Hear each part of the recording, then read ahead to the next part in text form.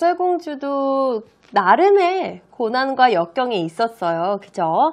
그런데 그 안에서 백설공주가 어떤 선택들을 했는지가 이제 우리가 앞으로 계속해서 살펴봐야 될 점인데요. 자, 우선 백설공주 행복해만 보였고 왕자를 만나는 운명을 지녔던 백설공주도 중간중간에 괴롭혔던 사람이 있었죠. 바로 뒤에 있는 새어머니. 세방비였습니다. 어, 의붓 어머니, 뭐 의붓이라는 의미를 가진 표현을 할 때는요, 저희가 step이라는 표현을 사용을 해요. 이 stepmother이라는 건 의붓 어머니를 의미하는 거예요. 그래서 여기서 만약에 의붓 어, sister 정도면은 stepsister 혹은 stepbrother 그렇게 여러분들이 바꿔서 표현하실 수 있는 겁니다. 자, 의붓 어머니 stepmother 바로 새어머니 the new queen을 말하는 거죠. 그 queen이 백설공주를 끊임없이 괴롭혔어요. 그런데 백설공주는 친구가 있긴 했어요. 그 친구는 한 명도 아니고 두 명도 아니고 셋도 아니고 일곱 명씩이나 됐죠. 바로 일곱 난장이들이었습니다. The Seven Dwarfs.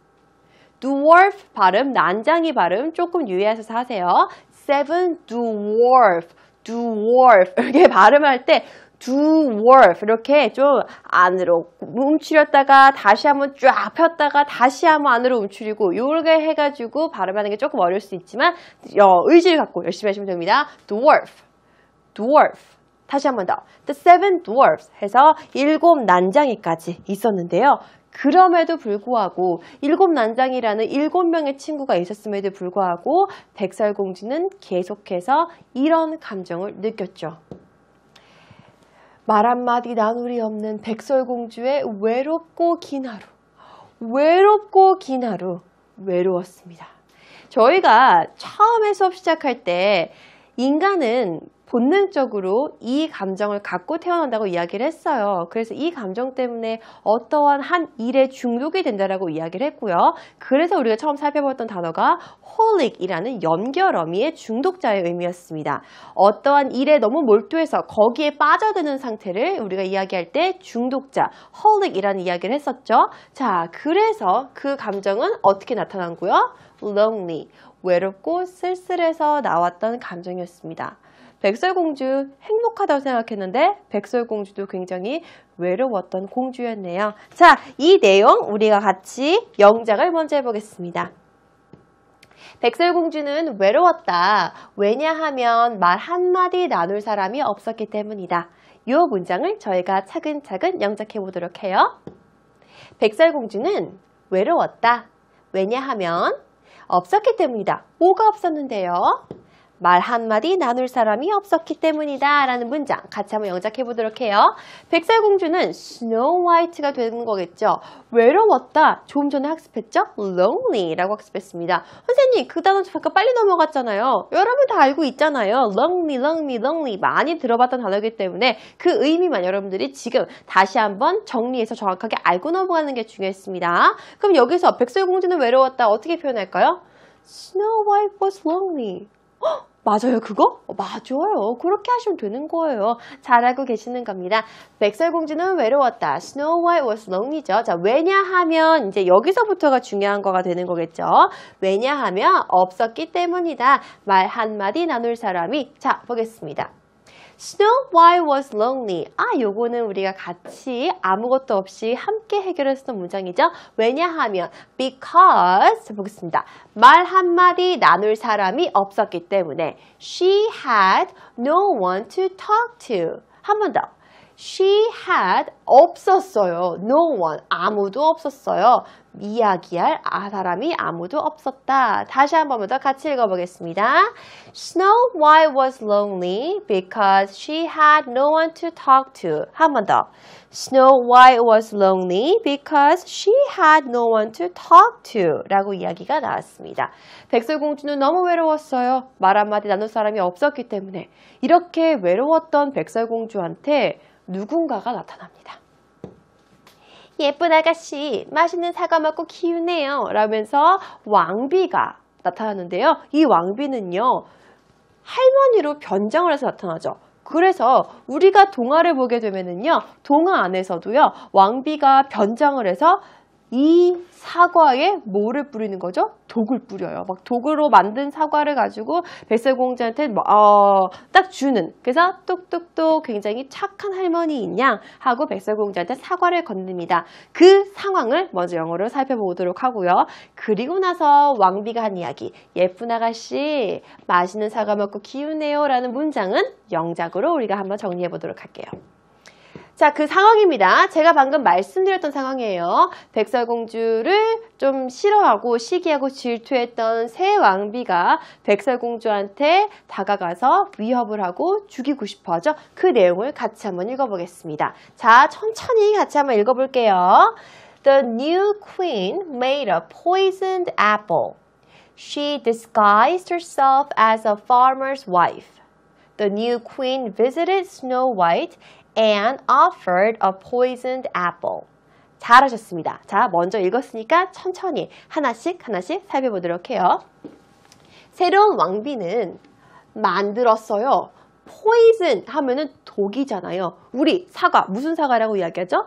독사과라고 많이 이야기했죠? 그래서 독사과를 만들었다. 첫 번째 문장입니다. 두 번째 문장은요. She disguised. 자, 이 단어만 같이 학습할게요. disguise는요.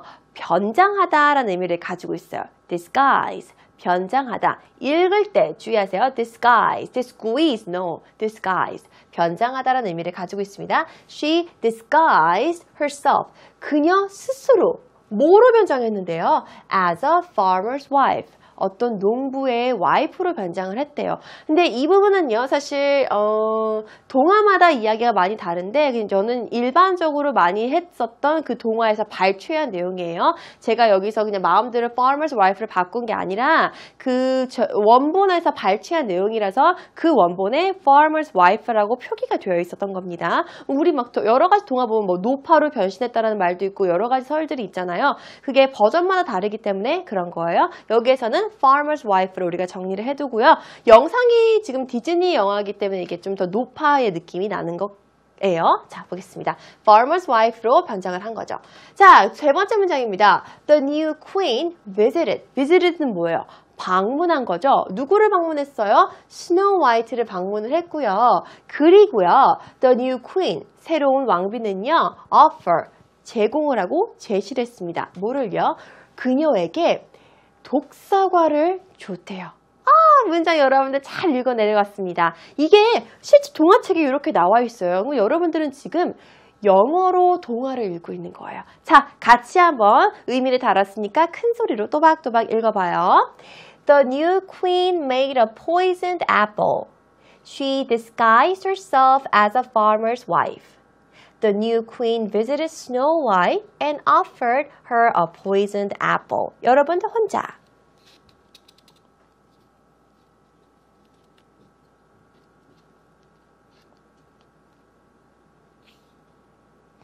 잘하셨습니다. 자, 그렇게 해서 여러분들이 단어의 발음까지 하나씩 꼭꼭 체크해 주시고요. 자, 이번에는 우리가 어떤 일을 해야 되는 거죠? 자, 새 왕비가 했던 이야기를 영어로 바꾸는 작업입니다. 예쁜 아가씨, 기운내고 맛있게 생긴 사과를 먹어요. 이것이 당신의 기분을 더 좋게 해줄 거예요. 라고 이야기했던 이 문장을요, 우리가 이번에는 영어로 바꿔보는 작업을 해보도록 해요. 자, 이 두 문장도 꼭 외워주세요. 자, 같이 보겠습니다. 우선 이 예쁜 아가씨 기운내고 맛있게 생긴 사과를 먹어요 라는 첫 번째 문장부터 뼈대 가장 중요한 내용만 먼저 한번 추려볼게요. 예쁜 아가씨 기운내고 맛있게 생긴 사과를 먹어요 라는 문장입니다. 자 처음에는 예쁜 아가씨 기운내고 먹어요 라고만 이야기할게요. 사과를 먹어요 정도나지 아무튼 뼈대만 먼저 이야기해 보도록 할게요. 예쁜 아가씨, 예쁜 아가씨는 어떻게 이야기할 수 있을까요? A pretty woman 해도 되고, a pretty lady라고 해도 되고, a beautiful lady 해도 되고, cute lady 해도 되고, 전혀 무방합니다. 여러분들이 표현하고 싶은 대로 표현하는데, 다만, 여기 예쁜이라 써 있는데, an ugly woman 이렇게 하면 안 되는 거죠. 의미가 변하는 거니까요. 그래서 제가 눈을 이야기하지만 영작할 때 여기 아래에 나오는 문장과 똑같은 단어가 생각나지 않아서 다른 생각을 했던 친구들이 있는데 그럼 틀린가요? 하면서 자신감이 위축되지 마시고요. 비슷한 의미만 전달할 수 있는 단어를 사용했으면 정말 잘하신 영작이고 잘하신 문장입니다. 아셨죠? 자, 예쁜 아가씨 기운 내고 사과를 먹어요 라고 나왔습니다. 기운내요 라는 표현은요. cheer up 이라는 표현이 있어요. 바, 문장 바로 볼게요. A pretty lady, cheer up and eat this apple. A pretty lady, cheer up and eat this apple. 여기에서는 우리가 예쁜 아가씨를 a pretty lady로 사용을 했습니다. 힘내요! 그리고 이 사과를 먹어요! 라고 이야기했죠. 어떤 사과였죠? 정말 맛있게 생긴 사과였죠? 맛있게 생긴 사과를 먹어요 라고 이야기를 했습니다. 자 그러면은 맛있게 생긴 어떻게 표현할 수 있을까요? 우선 맛있다, 맛있는 이라는 의미는 우리가 알 수, 알고 있어요 이미 delicious라는 의미로 알 수 있잖아요. 자, 그럼 그 단어를 어떻게 문장에 넣을 수 있는지를 잘잘 고민을 해봐요. 그리고 맛있게 생긴이라고 했습니다. 단순히 delicious apple이 아니에요. 어, 다 알려줬어요. A pretty lady, cheer up and eat this delicious looking. 아, 맛있게 생기는 이렇게 표현을 하는구나. A delicious looking apple. 다시 한번. A pretty lady, cheer up and eat this delicious looking apple. A pretty lady, cheer up and eat this delicious looking apple. 잘하셨습니다. 자, 그 다음 문장. 이것이 당신의 기분을 좋게 해줄 거예요. 이것이 저 좋게 해줄 거예요. 미래형입니다. will 뭐뭐가 나오겠죠. 당신의 기분을 정도로 정리하시면 되겠습니다. 같이 보겠습니다. This 이것이 뭐뭐 해줄 거예요. will make you feel much better. 당신의 기분을 더 좋게. will make you feel much better. 같이 읽어봐요. This will make you feel much better. This will make you feel much better. 해서 저희가 두 문장을 완성시켜 봤습니다. 처음부터 끝까지 완성된 두 문장 한눈에 쫙 한번 봅시다. 같이 읽어봐요. 시작! A pretty lady, cheer up and eat this delicious looking apple. This will make you feel much better. 여러분 혼자.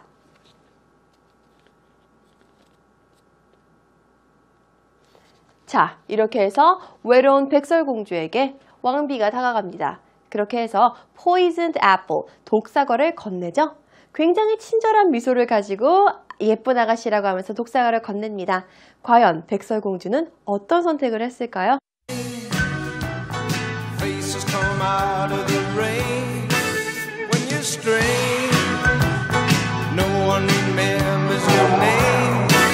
When your name when you're strange.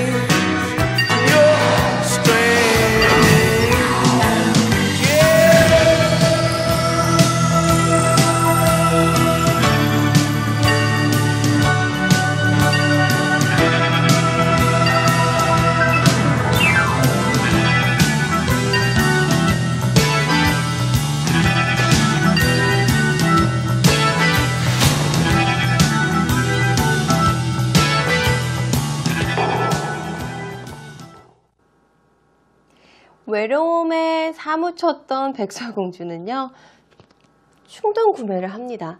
백설공주는요, 이 사과가 자기한테 독이 된 거라는 거를 상상도 하지 못한 채 다정한 말에 이끌려 충동 구매를 하죠. 오늘 저희가 배울 이번 시간의 단어는요, 바로 충동 구매와 관련이 있는 단어입니다.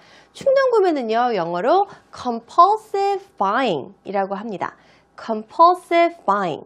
compulsive는 충동적인 이라는 의미를 가지고 있어요. 자, 두 번째는요, buying과 비슷한 shopping이 되는 겁니다. 저희가 어, shopping, 뭐 buying, purchasing 다 무언가를 구매하다와 관련이 있는 단어거든요. 그렇게 해서 같이 학습해 두시면 됩니다. compulsive buying, compulsive shopping. 바로 충동 구매의 의미를 가지고 있습니다. 여기에 여러분들이 purchasing이라는 단어를 쓰고 싶어요. 괜찮습니다. 충동 구매라는 의미를 충분히 가지고 있으니까 가장 중요한 거는 무언가 충동적으로 구매하다의 의미를 표현하고 싶을 때는 바로 compulsive를 쓴다라는 사실. 그것만 꼭 기억해 두시면 돼요. compulsive. compulsive. 해서 충동 구매는요. compulsive buying, compulsive shopping, compulsive purchasing. 의미는 전달되지만 일반적으로 compulsive purchasing이라는 표현은 잘 안 쓰고요. 위에 두 표현을 더 많이 씁니다. compulsive buying and compulsive shopping. 바로 충동 구매고요. 이거는 일종의 행동학적으로 봤을 때 질병으로 분류가 돼서 우리가 치료가 필요한 행동 분열 증상 중에 하나라고 이야기를 해요. 자, 그래서 백설공주는 이게 백설공주의 뇌구조예요. 왜 충동 구매를 했어요? 외로웠기 때문에 충동 구매를 했죠. 이 상황을 저희가 영어로서 표현을 해보도록 할게요. 외로움에 힘들었던 백설공주는 새 왕비로부터 충동적으로 사과를 구매했다. 하, 수식도 너무 많아요. 자, 그러니까 우리가 여기까지 가기 위해서 이 모든 단계를 가기 위해서 기름기를 쫙 뺀 그 문장 먼저 확장시켜 나가는 훈련을 해보도록 해요. 백설공주는 충동적으로 사과를 구매했다가 바로 첫 번째 문장입니다. 백설공주는 충동적으로 사과를 구매했다. 백설공주는 충동적으로 compulsive, compulsive 구매했다. 사과를 compulsive 들어가는 거 알겠고요. 뭐 구매했다는 shop도 되겠고 buy도 되겠고 purchase도 되겠고 아무거나 세 개 중에 하나 여러분들이 쓰고 싶은 단어 쓰면 되겠고요. 사과를 구매했다고 합니다. 자, 확인해 볼게요. 아, 여기서는 purchase라는 단어를 사용을 했네요. 자, 이게 뼈대 문장입니다. 여기서부터 확장시켜 나갈 거예요. 같이 읽어봐요. Snow White compulsively purchased an apple. Snow White compulsively purchased an apple. 백설 공주는 충동적으로 사과를 구매했다. 라고 첫 번째 문장이 왔습니다. 자, 그럼 백설 공주는 충동적으로 사과를 구매했다고? 그러니까 첫 번째 문장이었고요. 그러면 어떤 백설 공주가 도대체 충동적으로 사과를 구매했는데 외로움에 힘들었던 백설공주가 충동적으로 사과를 구매했습니다. 자, 그러면은 외롭다. lonely 나왔어요. lonely. 좀 전에 배웠던 단어죠? lonely 나왔고 힘들었던 어떻게 표현할까? 궁금해 하셔야 되는 거고요. 외로움에 힘들었던 백설공주는 충동적으로 구매했습니다. 사과를 구매했습니다. 표현 짠. suffering 뭔가 힘들다라는 표현은요, suffer라는 표현을 씁니다. suffering. 힘들었었던 백설공주예요. suffering from the loneliness. lonely가 외로운이라는 거였잖아요. 외로운, 외로운이었으니까 외로움은 명사형으로 loneliness로 표현을 하는 거죠. suffering from the loneliness, Snow White compulsively purchased an apple. 라고 두 번째 문장 완성했습니다. Suffering from the loneliness, Snow White compulsively purchased an apple. 그 다음, 외로움에 힘들었던 백설공주는 누구로부터 사과를 구매했는데요? 바로 왕비로, 새 왕비로부터 충동적으로 사과를 구매한 거죠. 바로 방금 만들었던 문장에 새 왕비로부터의 의미가 들어가야 되는 거예요. 마지막 문장입니다. 외로움에 힘들었던 백설공주는 충동적으로 구매했어요. 사과를 새 왕비로부터. 그러면 요 새 왕비로부터의 의미만 들어가면 되겠네요. 짜잔! 같이 읽어봐요. 시작! Suffering from the loneliness, Snow White compulsively purchased an apple from the new queen. 한 번 더. Suffering from the loneliness, Snow White compulsively purchased an apple from the new queen. 해서 저희는 백설공주의 상황을 영어로 만들어 봤습니다. 이렇게 외로움에 힘들었던 백설공주는요, 이 사과를 충동적으로 구매를 하는데요. 이렇게 우리가 무언가 충동적으로 구매할 때 발, 어, 나오는 물질이 있대, 호르몬이 있대요. 그 호르몬이 바로 기분 좋게 만들어주는 도파민이라는 호르몬입니다. 도파민. 도파민에 대해서 저희가 이제 학습을 해보도록 할게요. 도파민은요, 화학 물질인데요. 이 화학 물질은 이렇게 발산이 되는 건데요. 어떻게 되는 거냐면요. nerve cells. nerve cell은요, 바로 신경세포라고 합니다. nerve cell. 신경세포. 이 신경세포는요, 신호를 보낸대요. 다른 신경세포들한테 마구 신호를 보내는 거예요. 그게 바로 도파민이라고 하는 겁니다. 기분 좋아지는 호르몬인 거죠. 도파민은 다시 한 번만 볼게요. A chemical released by nerve cells to send signals to other nerve cells. A chemical released by nerve cells to send signals to other nerve cells. 이거는 화학 물질인데요. 발산되는 화학 물질인데 다른 신경세포들한테 다른 신경세포가 신호를 보내는 걸 바로 우리가 도파민이라고 이야기해요. 도파민은요, 또 다른 이름이 있는데요. 그건 바로 우리가 행복 호르몬이라고 이야기를 합니다. 도파민은 happy hormones라는 또 다른 이름이 있어요. 자, 여기에 대해서 도파민에 대한 설명이 또다시 추가가 돼요. 이거 같이 한번 읽어볼게요. 시작! Dopamine is released in the brain when we succeed, love, and are praised by others. This hormone helps to form happy memories. 한 번 더. Dopamine is released in the brain when we succeed, love, and are praised by others. This hormone helps to form happy memories. 같이 읽어볼게요. 도파민은 발산이 되는데요. 우리의 뇌로. 근데 언제 도파민이 막 뇌에 퍼지냐면요. 그때는요. 우리가 성공했을 때.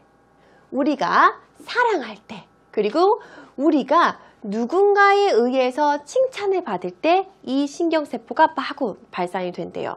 이 호르몬은요, 도와주는데요.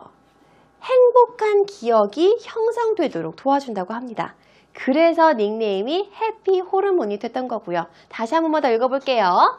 Dopamine is released in the brain when we succeed. Love, and are praised by others. This hormone helps to form happy memories. 하면서 저희가 정리를 했습니다. 자, 그러면 이 도파민, 행복하게 만들어주는 이 도파민은요, 사랑하고 행복한 순간 많이 많이 발산되는데요. 우리 현대인들도 이런 도파민을 더 많이 발산시키고 싶어서 이런 선택을 한다고 해요.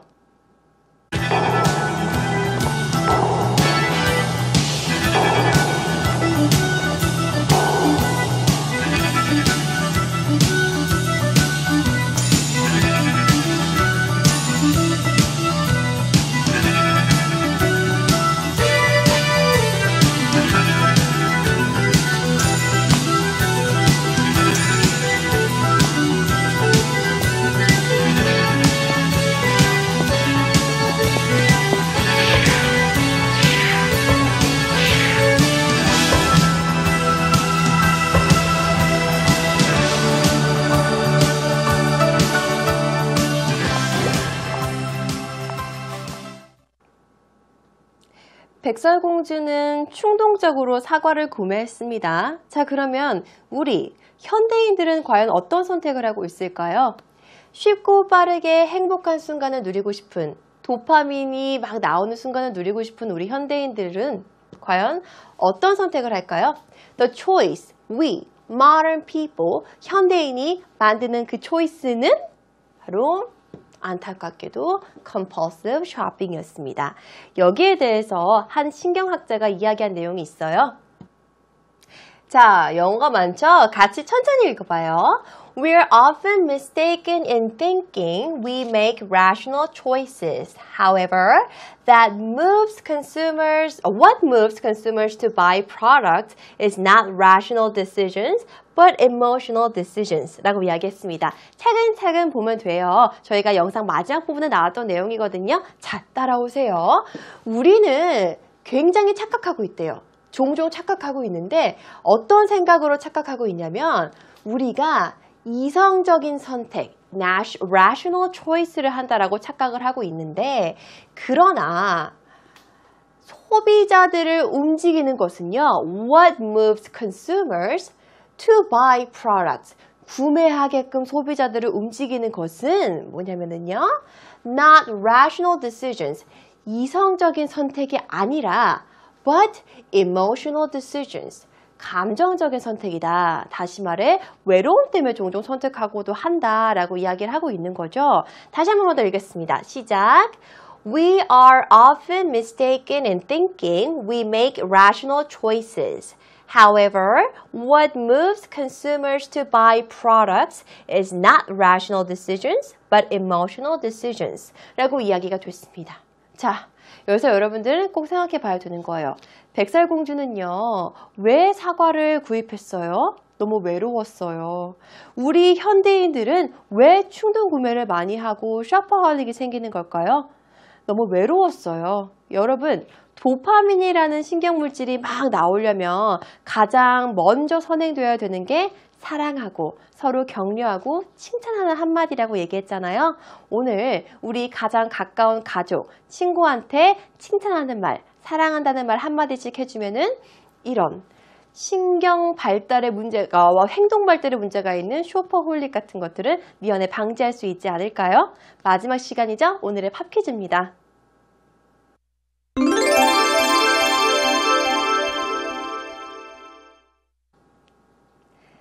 네, 오늘의 팝퀴즈입니다. 오늘 저희는 충동 구매에 대해서 배웠고요. 이런 충동 구매를 방지할 수 있는 게 있는데 그게 칭찬, 사랑의 한마디였습니다. 그리고 칭찬을 하고 사랑을 하면 바로 이게 나온다고 하죠. 우리 몸 안에서 이게 막 분비가 된대요. 문제입니다. 문제는요. What do we call a hormone which makes us feel happy? what we call a hormone which make, makes us feel happy. 정답을 알고 있는 친구들은 우리를 행복하게 만드는 호르몬의 이름을요. 게시판에 꼭 남겨주시기 바라고요. 오늘도 한 시간 동안 정말 수고 많이 하셨습니다. 다음 시간에 또 만나요. 바이바이.